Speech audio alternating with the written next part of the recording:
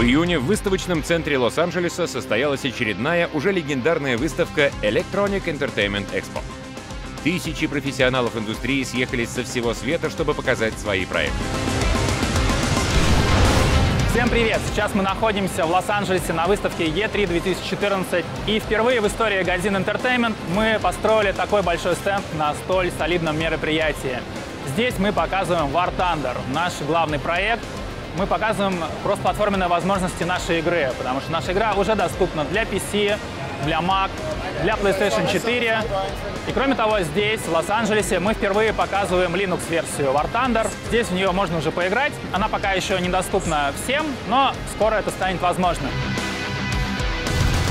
Кроме того, Linux-клиент означает, что как только выйдет SteamOS и Steam машины на ее основе, War Thunder тоже будет там работать без малейших проблем, поскольку SteamOS базируется на Linux.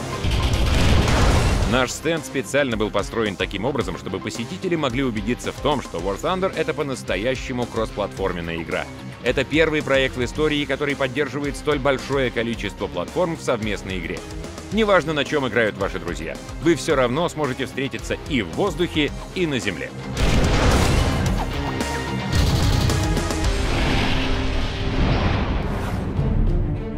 Но и это еще не все. Пока простые посетители нашего стенда знакомились с версиями для больших платформ, в бизнес-части E3 избранные журналисты и партнеры могли опробовать War Thunder с HD-прототипом Oculus Rift и взглянуть на раннюю версию нашего проекта для мобильных платформ. Но об этом как-нибудь в другой раз.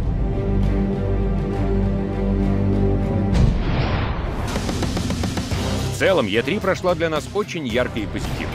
Стриминговый сервис OnLive показал на E3 возможности своего облачного сервиса Cloud на примере War Thunder. Посетители искренне удивлялись и радовались кроссплатформенным возможностям, а американская комьюнити получила возможность встретиться с создателями своей любимой игры. Мы добровольные модераторы комьюнити, а это подарок от руководства компании.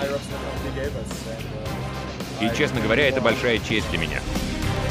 Ну а наша команда, хоть и изрядно вымоталась, вернулась домой с полным чувством выполненного долга. На этом все. До встречи на Gamescom 2014.